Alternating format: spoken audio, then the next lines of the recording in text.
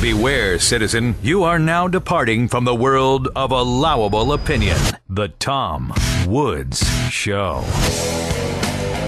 Welcome, everybody. It's Thursday, February 13th, 2014. Bob Murphy joins us today. There are some fallacies that need to be smashed, and who better to do it than Bob Murphy? The two of us are going to go through five fallacies that, once again, Rolling Stone magazine is responsible for. I've got a sixth fallacy I'm going to start off with, with Bob. But some of these things just have to be answered. And we're going to have fun answering them. And we're going to learn stuff as we answer them. It's going to be great. What a great experience this is. Stay tuned after my conversation with Bob for a list of my upcoming events. I've just added one. I'll have another one that I'll be adding as well. Thank you for the questions you guys have proposed that I ask Judge Napolitano when he joins us next week for the 100th episode of The Tom Woods Show. And of course, thank you guys for subscribing to the show on iTunes and Stitcher. All right, you all know Bob Murphy. Bob is the author of The Politically Incorrect Guide to Capitalism, The Politically Incorrect Guide to the Great Depression and the New Deal, Lessons for the Young Economist, a textbook you can find online and download for free. He's also the author of Chaos Theory, of study guides for several of the major Austrian treatises and he blogs at consultingbyrpm.com and I strongly urge you to follow Bob's blog. Bob Murphy, thanks so much for being here. Thanks for having me, Tom. Always a pleasure. All right. I know this is an old article from Rolling Stone and you know, people are going to say to me, "Woods, why are you going after all these articles in Rolling Stone?" And the answer isn't that Rolling Stone is a really important publication from an academic point of view, but because if Rolling Stone is promoting these ideas, then probably some people believe this stuff, and it's useful to know what the answers to these arguments are. But before we even get to that, Bob, I want to go over just something I emailed you uh, the other day, just very briefly. I was reading an article that said that one of the benefits of raising the minimum wage and uh, the idea these days is that there are just so many benefits you can hardly count them. One of the benefits would be that it would be like a permanent stimulus program because people who would be on the receiving end of the benefits of the minimum wage are, by definition, low income workers. And low income workers tend to spend most of their income. You know, this, this is sort of like this Keynesian principle that, you know, the, the more income you have, the more you're likely to save of it. So these people are, are more likely to blow all their income and we all know that's what the economy needs is is people who just blow all their income and don't just sit on it. So it's a permanent stimulus program that would be created by raising the minimum wage. I want the murphy response to this. Okay well there's lots of things wrong with that. So one is even on its own terms it's not obvious that the total wage bill would be higher if they implemented a, a hike in the minimum wage. And the article you sent me from ron unz was proposing to raise the minimum wage to twelve dollars an hour. And so, I mean, that would just be catastrophic in terms of the employment opportunities for the people who are currently earning the minimum wage, let alone the people who are below that level. So, even on its own terms, it's not obvious. So, what I'm saying, just to be clear, is suppose they got rid of the minimum wage, it's conceivable that employers would be giving more total dollars to people who don't have a lot of skills than they are right now, or let alone if they raise the minimum wage to twelve dollars an hour. So if if the goal is to get more money in the hands of lower skilled people because they tend to not save as much, it's not obvious raising the minimum wage is the way to do that. So, in uh, other words, because fewer of them will have jobs in the first place, so therefore the overall payrolls will be lower. Right, exactly. Okay. That, that yeah, if they, if they raise the, the minimum wage by fifty percent and then employment drops off the cliff, it's not clear that the total amount of wages being paid is going to go up versus down.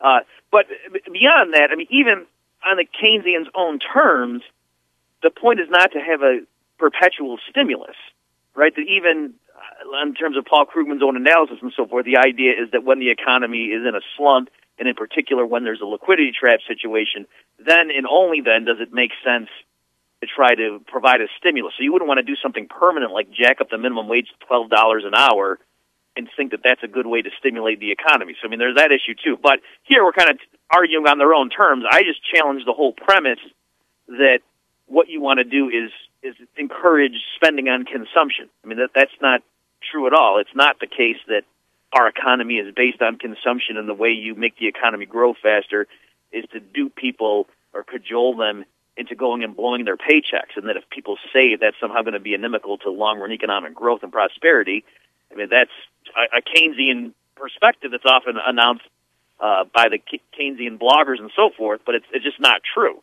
That there's no reason to think that savings is going to hurt long-term growth. The economy just adjusts, prices adjust, and as long as people's expectations are correct, then if people have a higher savings rate, that actually allows the economy to grow faster. As the economy just retools and creates more drill presses and 18 wheelers as opposed to cranking out personal pan pizzas and uh, video games. All right, let's turn now to Rolling Stone here. Now, I know this has already been dealt with. Some people dealt with it some time ago, but look, I didn't even see this article, so therefore I assume other people haven't seen it and they haven't seen the the refutations. And plus, nobody's going to refute it better than Bob Murphy, so we might as well carry on. The first one of these five, what is it called? Five economic reforms millennials should be fighting for is guaranteed work for everybody. Now let's see. It says I'm just going to I'm going to read these things, okay? Unemployment blows. The easiest and most direct solution is for the government to guarantee that everyone who wants to contribute productively to society well, that's interesting. Not everyone, but everyone who wants to, is able to de- earn a decent living in the public sector. Okay. There are millions of people who want to work, and there's tons of work that needs, needs doing. It's a no brainer. And then they go on to say that, you know, look, the Works Progress Administration did this, etc. A job guarantee that paid a living wage would anchor prices, whatever that means, drive up conditions for workers at mega corporations like Walmart and McDonald's, and target employment for the poor and long term unemployed, people to whom conventional stimulus money rarely trickles all the way down. The program would automatically expand during private sector downturns and contract during private sector upswings, balancing out the business cycle, and se- which has no cause, by the way. The business cycle has no cause, just occurs Uh, and, and sending people from job to job rather than job to unemployment when t- times get tough. Some economists have proposed running a job guarantee through the nonprofit sector, which would make it even easier to suit the job to the worker. Imagine a world where people could contribute the skills that inspire them teaching, tutoring, urban farming, cleaning up the environment, painting murals, rather than telemarketing or whatever other stupid tasks bosses need done to supplement their millions. Sounds nice, doesn't it? I mean, this sounds like it was. I mean, my. You know, I was about to use a bad word there. I was about. I mean, this is so stupid. My ten-year-old would uh, could come up with. I mean, this just sounds. Like, is this a? All right, look. I can't even say anything coherent here. You got to jump in here. Take over for me, Bob. The microphone is yours. This is like the angry Tom Woods. I like. I'm so exasperated by this. All right, go ahead. Go okay, ahead. Well, yeah, just uh, this article is from a, a Jesse Myerson, and I don't know right. if Jesse is a, is a man or a, a woman. Um, and, and you're right, though, Tom. I think it is. We, we do need to occasionally step back and just address these sorts of things because this this type of article is clearly what's influencing the widespread public support for what we think are horrible economic policies. So even though it's more challenging to you know grapple with Paul Samuelson's article on Bob and capital theory, that's probably not what's motivating the people who are marching and, and protesting and asking for a twelve dollar minimum. Probably wage. not. I mean, I'm going to say Jesse Myerson doesn't even know what Bum, uh, capital theory is. um, so yeah, it, it's. I mean, it's it's funny. I mean, this person, this Myerson, it's it's almost as if he or she just doesn't even understand the problem with socialism in the first place. Uh, for this one, you know, guaranteed work for everybody, we could just say, okay, well, let's just take it to its logical conclusion. I mean, what this person is saying is why not have people do things that are useful, like uh, picking up litter, painting murals, urban farming, teaching and tutoring, rather than whatever their bosses want them to do in order to make money. So it's a classic, uh, familiar thing about a hey, production for people, not profit. The idea that what the market economy tells you to do is just about the bottom line, and can't we imagine an alternate vision where people are doing things that are truly useful for the community? So I mean that's just a standard historical argument for socialism as opposed to capitalism. So we could just take it to its logical extreme and say, why just do the why just make this offer to the unemployed during recessions? Why not just say for everybody, just do what the government asks you to do, or you know, just have everyone do whatever they want, and then that will be great, right? I mean, it does, sounds nice, doesn't it, to use the person's closing sentence? And then when you start thinking through the logic of that, you realize, well, wait a minute. I mean, if if there's no outside incentives steering us and telling us where our labor is best deployed, well, what happens if everyone wants to just paint murals all day? Right. Well, Hello. Yeah. Right. Yeah. And so they're so there has to be some sort of feedback mechanism by which we get an idea of, you know, I have so many hours of labor I can contribute. Where is it most worthwhile for me to do that? And when you start, just to take a, a tack that Mises used in his book in so, on socialism, called coincidentally enough socialism, uh, it's he, he, what he ends up doing is he was describing it was a little bit different context, but he was explaining the problem of allocating capital in a, in a socialist system, and so then he kept bringing in new innovations for well the central planners could deal with that issue by doing such and such, and then by the time he was done, he had just described the capitalist system, and so it's the same thing here. Just start from scratch and just start you know listing out the attributes that a system of how you allocate labor would have to have to be defensible and efficient and you know morally praiseworthy and say well people should be able to choose what they want to do. Nobody can literally force you to do something against your will but you should also be rewarded in some sense and, and given incentives to do what others want you to do. That should play a part in it. And you end up describing the voluntary market economy where you, no one forces you to do anything. You, so this person is wrong when they say that you're forced to do what your stupid bosses tell you to do. You can always quit in a market economy but by the same token if if there's a shortage of food and we're all going to starve to death, well, then the prices of agricultural products shoot up, and there's a lot of profits to be made by jumping into growing tomatoes. And so that's the way the market guides people. And again, just think through in the limit. Why wouldn't we just have the government assign jobs to everybody? And the answer is because they don't know what needs to be done. That would be a massive waste of, of labor resources. That the government's not in a position to say, oh, these workers ought to go here and these workers ought to go here. And anywhere in history that we've seen governments approaching that level, it's been awful. The person cites Roosevelt's New Deal. Well, the Great Depression was the longest slump in U.S. history. And so you have to ask yourself, why did that happen? It's not because, oh, Roosevelt was just given a dealt a bad hand. It was because the New Deal made the U.S. fester and stay stuck in that rut for years. You know what I find interesting also about this, and picking up on your point here, is that I bet Jesse Myerson thinks that it's important to think about other people, and he probably thinks that capitalism is all about just looking out for number one, just thinking about yourself. But yet, he, that's exactly the point of view he or she is taking here, in say, in in saying that look, you should you should be able to do anything you want to do. But you know what? You're not the only person in the universe. And yeah, if you want to paint murals all day, go ahead and do it. If you find enough people who think what you're doing is a worthwhile use of resources, you can make a living that way. But to stand there and childishly demand that other people support you in whatever you've decided to do while blocking out of your head what people in society prefer that you do that would actually help them you know it's the the guy's a narcissist actually in, in looking at the economy yeah, exactly. And by the way, I just googled him, and I'm pretty sure it is a guy. All right, good, good, good. Yeah, because that was. You also have the context. Like, no, no woman would would speak with such reckless abandon. this would have been awkward using he she the whole time. So, all right, let, let's let's go to number two: Social Security for all. I just I love how everyone every one of them is like a dumb slogan, you know, like a bumper sticker thing. He said, but let's think even bigger, you know, because as much as unemployment blows, so do jobs. What if people didn't have to work to survive? Enter the jaw droppingly simple idea of a universal basic income, in which the government would just add a sum sufficient for subsistence to everyone's bank account every month, etc., etc. Um, we live in the age of 3D printers and self replicating robots. Actual human workers are increasingly surplus to requirement. I, I, don't know what that means. I mean, I know what I know what the words mean, but that's one major reason why we have such a big unemployment problem. A universal basic income would address this epidemic at the root, etc., etc. Oh, and would provide everyone, in the words of Duke Professor Kathi Weeks, time to cultivate new needs for pleasure, activities, senses, passions, affects, and soci- uh, socialities that exceed the options of working and saving, producing and accumulating. Put another way, a universal basic income combined with a job guarantee and other social programs could make participation in the labor force truly voluntary, thereby enabling people to get a life. Now, I, okay, first of all, we covered the robots are taking all our jobs away on this program with George Reisman. So do a search, look through the archives. Maybe I'll make a YouTube out of that one actually for the Will Robots Take Our Jobs? So that one, that's been covered.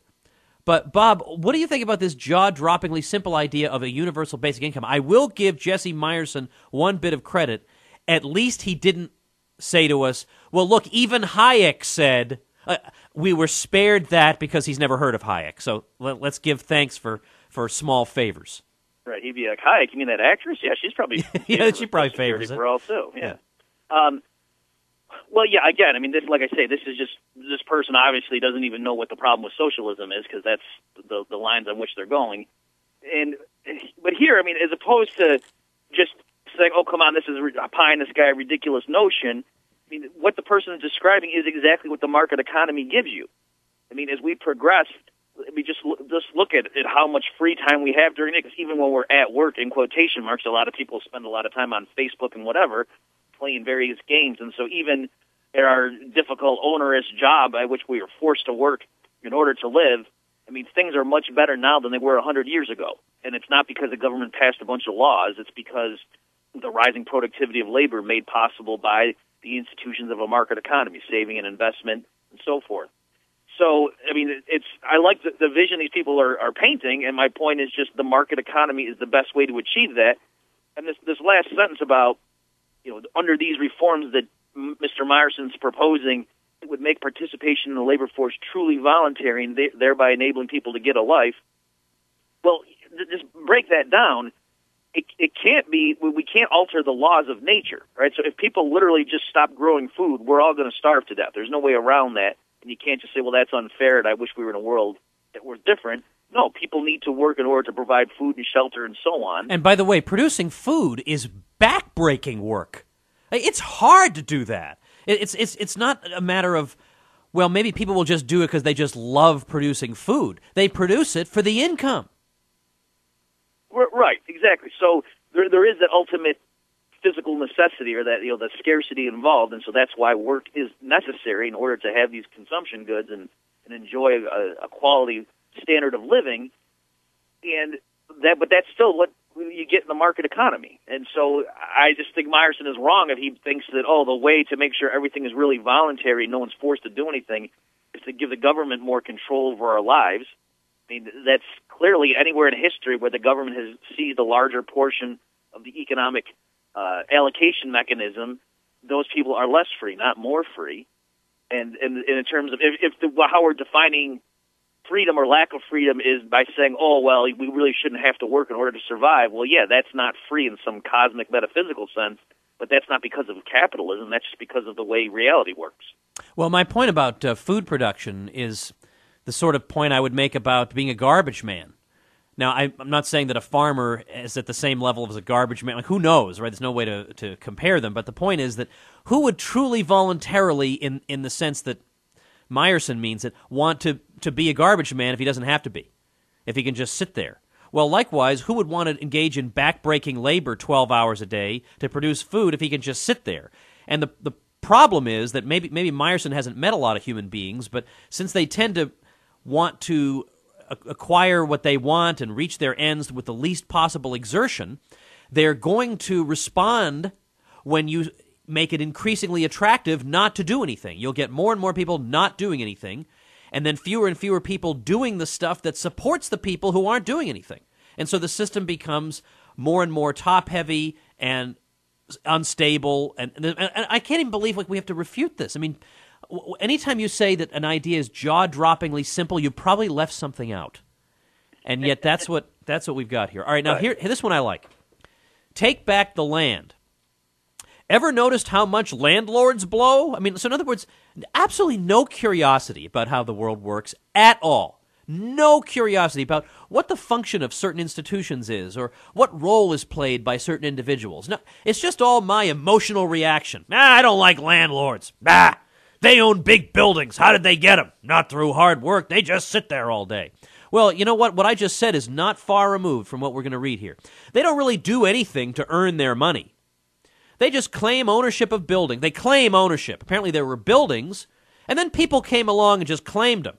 They just claim ownership of buildings and charge people who actually work for a living the majority of our incomes for the privilege of staying in boxes that these owners often didn't build and rarely, if ever, improve. In a few years, my landlord will probably sell my building to another landlord and make off with the appreciated value of the land he or she, uh, I'm not going to do that, also claims to own, which won't even get taxed as long as he or she, uh, plows it right back into more real estate. Think of how stupid that is. The value of the land has nothing to do with my idle remote landlord. It reflects the nearby parks and subways and shops, which I have access to thanks to the community and the public. So why don't the community and the public derive the value and put it toward uses that benefit everyone? Because capitalism is why. The most I had to say that in that voice by the way. The most mainstream way of flipping the script is a simple land value tax. By targeting wealthy real estate owners and their free rides, we, we can fight inequality and poverty directly, make disastrous asset price bubbles impossible. Oh, I guess he wants to end the Fed, too. And curb Wall Street's hideous bloat. There are coolers out, uh, cooler ideas out there too. Municipalities themselves can be big time landowners, and groups can even create large scale community land trusts so that the land is held in common. In any case, we have to stop letting rich people pretend they privately own what nature provided everyone. So I don't know, maybe there's a tinge of Henry George in here, but again, I'm going to say that Myerson probably hasn't read Henry George. What do you say about this, Bob? Well, again, there's just so much here. It's a target rich environment um, I think that again, I, I hate to be sound like a broken record here, but clearly the person, it's not that the person is upset about any particular manifestation of the market economy. It's just the very notion that there's private property really makes this guy angry. He doesn't, why should there be private property? That's not fair. That doesn't make any sense to him.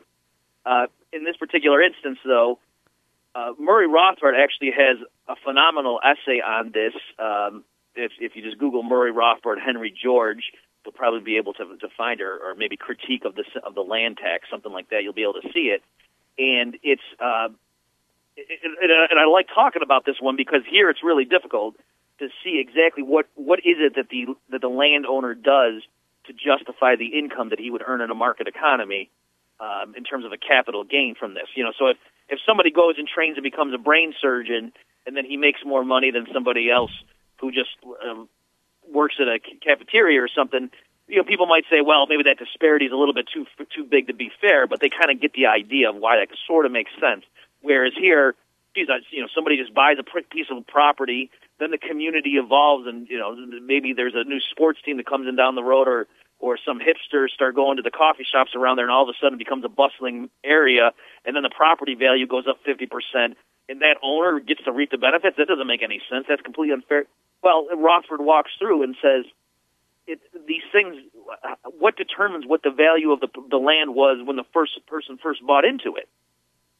And so clearly, if the person was able to buy it, and then a few years later it's 50% more, and that surprises most people, it's because they didn't anticipate what was going to happen. And so the people who tend to pocket those capital gains on real estate, even if we call it, you know, unimproved, you know, that they didn't, it's not because they physically changed the land or they didn't build a nice skyscraper on it. It's just the actual real estate, the ground itself became more valuable. Still, they either just got lucky or more likely they had some inkling that this property was going to go up in value and that's why they got into it ahead of time.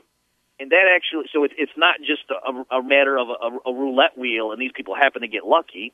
It's that, as with everything else where entrepreneurial profit is earned, the people who see a particular site and, and anticipate better than everybody else, I bet you this is going to be worth something in a few years. They're the ones who jump in and, and buy that. So even if we didn't talk about anything else, that right there is still reason you wouldn't want to have a land tax that that sucks away all those gains because then you would totally eliminate the incentive for people to try to spot undervalued properties and get in there, and that's that's what you want people to do. All right, let me, let me, let me jump in for a second though. So, in other okay. words, what you're saying is because of entrepreneurial foresight, that you know what I think this community is going to be really developed someday, and there'll be little shops and restaurants, and people are going to want to be here. So, I will build. They're going to want to live here. So, in anticipation of this, I'm going to build housing for them that they don't even know that they they're going to want yet.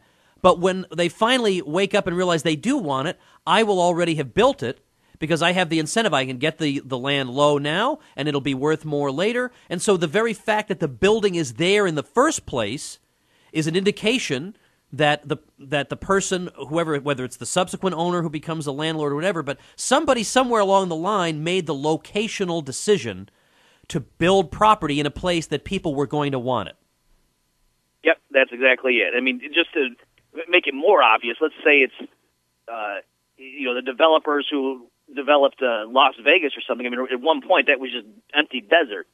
and then somebody realized, hey, you know, if we really develop this thing, where we're going to have a lot of, uh, you know, we're going to be able to sell it for a lot more down the road. And using Myerson's logic, I mean, you could say, well, no, it wasn't the, the person who bought the the desert and then paid all the workers to build buildings and so forth. It was all the workers, you know, the people who were actually laying the cement and the the people who were installing the window panes in the casinos and everything. Those are the ones who actually built Las Vegas, and they should fully be compensated for the the change in value over that. You know, they should all be millionaires. And the person who had the foresight to see that and and buy the land and then hire all those people to create these things, you know, those people had nothing to do with it. They just sat back and collected the profits. I mean, I hope even the most you know virulent socialist can see at least. Well, wait a minute, that's not really exactly an accurate description of what would have happened. So um, you're exactly right. Just to give another more esoteric example, Rothbard has a great thing. What really seems crazy is when you're driving around town and you see commercial real uh, buildings that are available for rent. You know, it's just an empty building and it's available for rent. And you say, well, gee, how come there's not a business in there? Or how come there's not homeless people that are allowed to stay in there? And the the answer is, oh, because those money grubbing capitalists are holding it off the market because they want to get a higher price. But Rothbard's point is that's good. You wouldn't want the, the landlord to just rent out a, a space to the best available bidder the day after it becomes available. If they think that no, no, no, if I just hold it off the market and spend some time searching, I bet you somebody, a much more productive business, is finally going to meet me and we'll, we'll coordinate, and then they'll come in, and maybe it'll be vacant for three months, but then there'll be a long-term business in here that's much more productive than the best bidder I can find if I have to have it filled by next Tuesday. And so just thinking through the logic of that and why you might hold property off the market to try to get a better rental price, that actually shows you that you're doing what you, what we would want people to do, what we would want landlords to do. So I guess in summary, the, the disposition of even just pure land factors, even if we assume they're totally fixed, which they're not, because you know you could spend money draining swamps and, and, and developing the land and creating more land, even though you normally think of land as fixed. But even if it were totally fixed, there still is an entrepreneurial function in determining what projects are going to be sitting on each square acre of land, and and that's something that needs to be allocated in a market just like every other scarce resource. All right, let's go to number four. Make everything owned by everybody. You know, isn't it, isn't it incredible that we could solve all the problems of society with kindergarten slogans? I mean, who who could have guessed this? Hoarders blow. Take, for example, the infamous 1% whose ownership of the capital stock of this country leads to such horrific inequality, which, by the way, is not actually that far removed from the typical Pareto 2080 distribution, but we'll leave that aside. We'll grant them that. Capital stock refers to two things here the buildings and equipment that workers use to produce goods and services, and the stocks and bonds that represent ownership over the former. The top 10%'s ownership of the means of production is represented by the fact that they control 80% of all financial assets. All right, so it's, it's slightly skewed, but that's as compared to everywhere else in the history of the world, but not by that much. Uh, that's my editorial comment, obviously, not his. Th- this detachment means that there's a way easier way to collectivize wealth ownership than having to stage uprising that seize the actual airplanes and warehouses and whatnot. Just buy up their stocks and bonds. When the government does that, it's called a sovereign wealth fund. Think of it like a big investment fund that buys up assets from the private sector and pays dividends to all permanent U.S. residents in the form of a universal basic income. All right, Bob, what about making everything owned by everybody? Well, again, we just have to ask what's the function, what's the social function of having private property in the first place? and it's because there are all sorts of uh, informational issues, and or if you if you study Austrian economics, you understand Mises' point about economic calculation. You can make a more sophisticated argument, but it's that you there's somebody or some group of people have to determine in any society how are we going to use that barrel of crude oil? Are we going to burn it right now? Are we going to leave it in the ground? Are we going to pump it and put it in a barrel and put it in a, in a warehouse somewhere for future use? I mean, decisions like that have to be made, and the point is, uh, there's various social mechanisms that have been proposed over history, and the market economy says we're going to give it to the, in the hands of the people who have proven in the past that they're good at forecasting the future, and they're good at anticipating what everybody else would want those resources to be used for. And that's all that it is. And let me just deal with one particular example, like somebody like B- Bill Gates. And, and yeah, I know he's not a paragon of the free market economy, but let's just take it at, at the simplistic comic book level yeah, he's a billionaire, but it's not because he has a bunch of mansions and yachts and so forth, and he's just surrounded by limos and, and big screen TVs. Most of his wealth is because of his ownership of, of Microsoft. And so, really, that's just the, the showing that he has a lot of influence over how all of Microsoft's productive assets are deployed. And so, yeah, we could we could say, why don't we just seize his shares and distribute it to all the employees of Microsoft? But then, do you really think that they're going to make the best decisions going forward, or any you know other major shareholders of, of companies, especially as, as we get more to a free market economy and not crony capitalism? The idea is that the decisions have to be made about okay, what product are we going to introduce? Are we going to keep uh, debugging this software? Are we just going to release it as is? Are we going to take our business in this direction and just focus on the personal market, or are we going to go after the business sector? I mean, a lot of these people have no idea that large businesses need to make strategic decisions, and they often fail. I mean, just remember like the new Coke that what they tried, and then they just quickly just rolled that away. I mean, so it's not the case that these major companies just pay a bunch of pretty women and make commercials and everyone has to buy their product. No, they have to make strategic decisions, and that's why they pay so much for CEOs and whatnot, because it's a very competitive market, and it, it takes entrepreneurial foresight to make these right decisions. And if you have it just distributed amongst the mass of workers, there's no reason to expect those decisions are going to get better, and so we're all going to be poor for it. You know, Bob, I actually liked the new Coke. I'm one of the only people who will admit that. But when the new Coke came out, I thought, hey, yeah, you know what? This does taste better. Now I realize that doesn't doesn't mean it wasn't a mistake. I mean, it was a mistake. From my point of view, it was great. But I understand that you don't you don't tinker with your long term thing. But I miss the new Coke. You know, I wish they would. I wish there was a niche market for the new Coke because I would enjoy having it back. All right, now having made that embarrassing admission, let's just go. Doesn't the old Coke really blow? well, well, listen to this last one, okay? A public bank in every state. You know what else really blows? Wall Street. The whole point of a finance sector is supposed to be collecting the surplus that the whole economy has worked to produce and channeling that surplus wealth toward its most socially valuable uses. It is difficult to overstate how completely awful our finance sector has been at accomplishing that basic goal.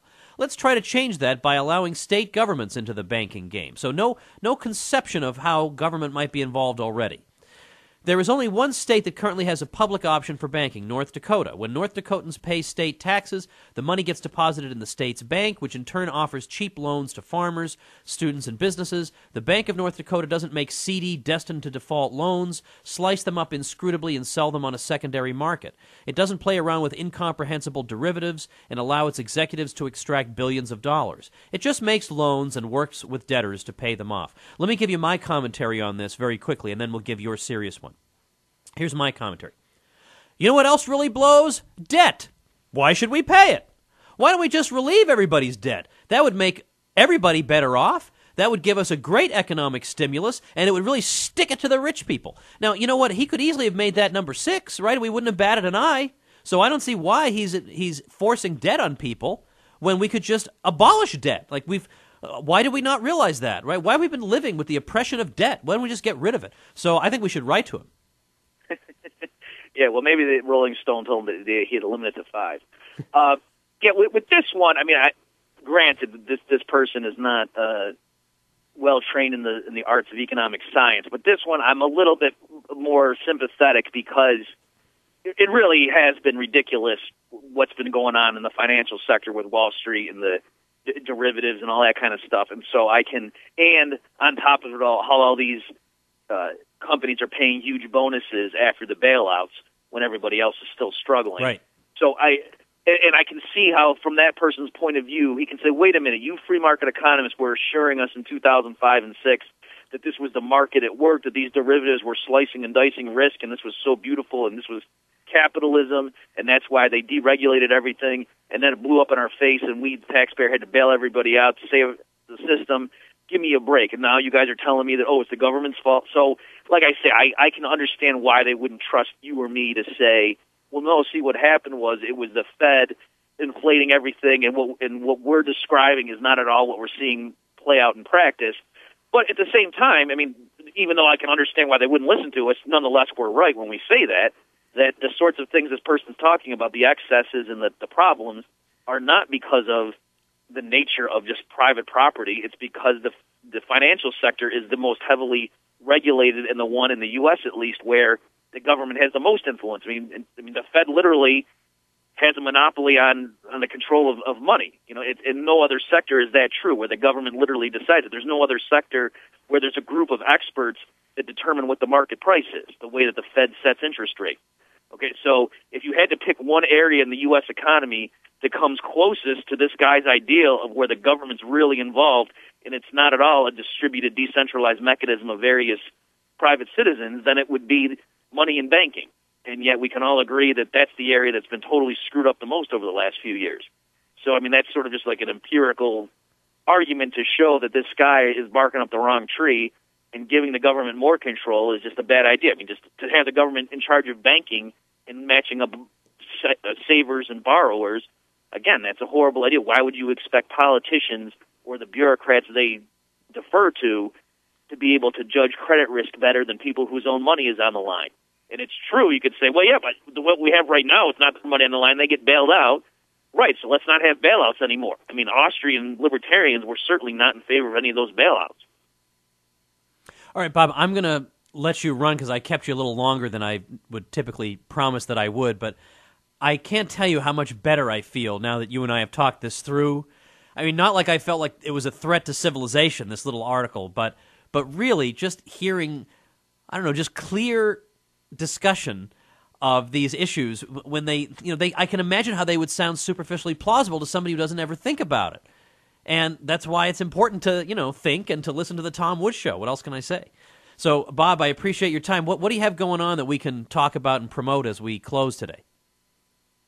Well, I uh, just in my blog, I just recently posted uh, a public lecture, an online lecture that I made available on supply and demand. So if people are curious about just the, the basics and how you think through things like that, I would uh, point people to consultingbyrpm.com, and you can see my uh, lecture for supply and demand analysis. All right, thanks, Bob, for that and for your time today. Everybody who listens always appreciates it, as I do. Thank you. Thanks, Tom. All right, everybody, that was Bob Murphy couple quick program notes for you guys. I guess the first one isn't a program note, it's a note about where I'm going to be. I'm going to be at the College of Southern Idaho March 1st, then March 5th, Washburn University in Topeka, Kansas, then March 15th at the University of Central Arkansas, and now April 9th at Florida Southern College. And either April 8th or April 10th, I don't know exactly which date yet, but one date around April 9th, I'll be at Liberty University in South Carolina. I haven't yet put up these April dates on my events page, but they will be up soon with the details. But for now, all my events in March are up at tomwoods.com, my personal site, the events page, tomwoods.com slash events. Tomorrow, we're going to be talking about Franklin Roosevelt with the author of New Deal or Raw Deal, Professor Bert Folsom of Hillsdale College. And then next week, we will be evaluating and ranking the presidents on President's Day. Then Judge Andrew Napolitano on Tuesday. We got Bitcoin next week. We got all kinds of interesting topics. So make sure you are subscribing because you would feel like such a loser missing out on these episodes. And don't forget, you guys are helping us out, helping me pay the bills here in my little Tom Woods Show office. Every time you enter Amazon through the Amazon widget at tomwoodsradio.com at no cost to yourself, you're helping me keep the lights on here, and I sure appreciate it. All right, everybody, FDR tomorrow. We'll see you then. The Tom Woods Show.